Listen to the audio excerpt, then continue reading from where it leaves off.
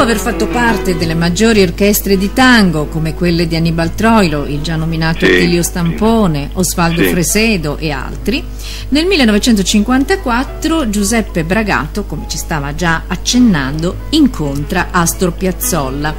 Con lui ha inizio un sodalizio lungo una vita eh, che porta anche a una, a una vera rivoluzione nella musica Sì, del tango. Ci parli, eh, maestro, ci vuole regalare un, un- un episodio, un ricordo della vostra amicizia? Come ebbe inizio? Che tipo di relazione musicale e amicale c'era? In un- nella casa un amico eh, ci ha invitato a, a mangiare con lui, e eravamo lì e è venuto anche Piazzolla e ha fatto la rivoluzione del tango con tutti i presenti. Era io, era Mario Franzini, Mm. era anche Attilio Stampone. eh, beh, ha detto vamos, vamos a hacer un, un ottetto. Ah, ecco, lui voleva co- costruire, creare un ottetto. Eh, Ed eravate eh, già tutti lì. E a- e abbiamo fatto una vera rivoluzione del tango con, questo ottetto. Proprio così. E così hai avuto inizio quasi per caso, insomma. Sì, una- chiaro, sì. Ma era un rapporto. Ma discutevate? Come com'era? Avete avuto motivi di. Ah, beh, tutto- abbiamo discusso tutto, eh, tu- con tutto il mondo. Ed era anche Sì. un'amicizia o fu- al di fuori, diciamo, Sì, dell'interesse. abbiamo suonato con lui anche per piacere, no- non solo per una paga. Per il Sì, piacere di, di suonare insieme Con lui, con lui. con lui. Sì. Senta, ma è vero che Piazzolla lo, lo chiamava, la chiamava il mio archivio vivente? Eh sì, l'archivo vivente. Io, ho fatto l'archivo anche della, della società eh, argentina. E adesso, adesso ci, ar- ci arriviamo. Volevo, volevo solo terminare un po' il discorso di Piazzolla, perché quanti anni sono poi alla fine? Siete rimasti. Eh, si- Siamo da- dal, dal 50 e più sempre siamo stati amici.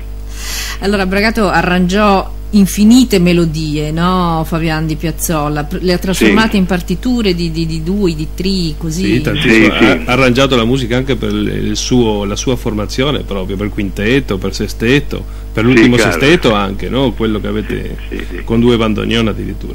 Ma perché la figura dell'arrangiatore magari è eh, meno nota del grande no, Piazzolla, Sì. però poi chi arrangia realmente, mh, co- come posso Mette dire, del suo, mette del suo e aiuta alla diffusione, no, alla, del- Sì, ovviamente beh, anche. Senz'altro. È, è così, Bragato? Sì, io facevo questi eh, eh, arrangiamenti, li mandavo in Europa, li, mandavo, eh, li ho mandati Eh. anche in Russia, senza bandoneon, perché là non c'è un bandoneon. Ecco, e quindi avevano pochi bandoneoni in Europa.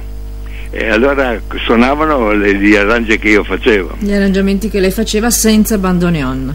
Ecco, Sì. ma eh, cosa significa quando si dice avanguardia del tango? no? Lo chiedo un po' a tutti e due. Cosa significa? Come si può tradurre No, per chi non è... Un- Bene, il tango eh, quando, quando si suona avrà averte 60 battute, o- però un tango di Piazzolla sa 500-600 battute, no? Era un musicista completo, aveva studiato molto bene, e aveva studiato anche in Francia con la Boulanger. Ma quando si dice sì. avanguardia, che cosa si intende? Vanguardia- Io- L'avanguardia sicuramente è una specie di rinnovamento no? eh, nel tango, che ogni, chiaro. ogni sua scuola, eh, Sì. diciamo ogni suo gruppo o, o no- o nome importante che formava la propria eh, orchestra, Sì. aveva una scuola e un, un suono particolare perché Sì, sì. come Leopoldo Federico, come Attilio Stampone, Bene, come per lui, lui eh, Piazzolla era differente di tutti. e quello- a quello volevo arrivare. Oltre a tutti gli altri grandi, Sì, Piazzolla sì, sì. ha rotto con quel